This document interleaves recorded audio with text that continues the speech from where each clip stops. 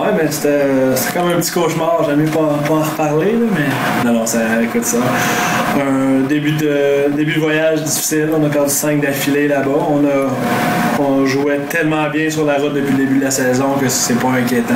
Ça a été un peu surprenant. Mais avec quelques petites blessures, on, on a eu une mauvaise séquence.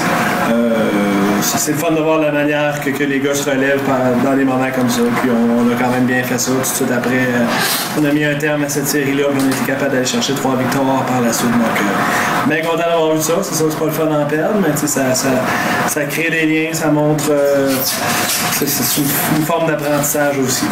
À votre dernier match, René Leverett revenu au jeu, quand même réussi là, euh, trois coups sûrs, une bonne, une bonne performance à son retour.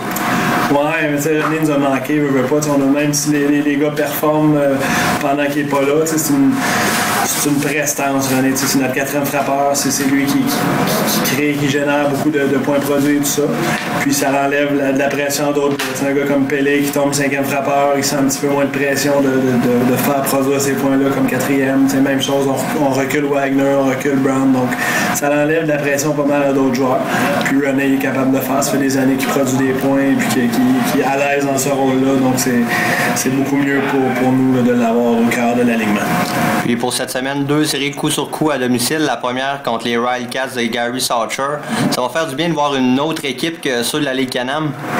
Ouais, ça va être le fun, pour, autant pour les partisans que pour nous, pour les joueurs. Euh, c'est un beau défi. On joue contre. euh, c'est notre deuxième série contre une équipe de l'association américaine. Et puis on, a gagné la première. Notre but, c'est, le même principe. On veut bien représenter la Canam. On veut envoyer un message de l'autre côté ici. Et puis ça commence, euh, ça commence avec Gary. Donc on, a hâte de voir ce que ça va faire. C'est une équipe qu'on, aime, qui, qui nous ressemble un petit peu, à savoir qui, qui, qui vole beaucoup de buts, qui, qui joue bien en défensive, qui frappe pas, qui se fie pas nécessairement sur les circuits pour euh, gagner leur match. Donc euh, ça devrait être une euh, série fun.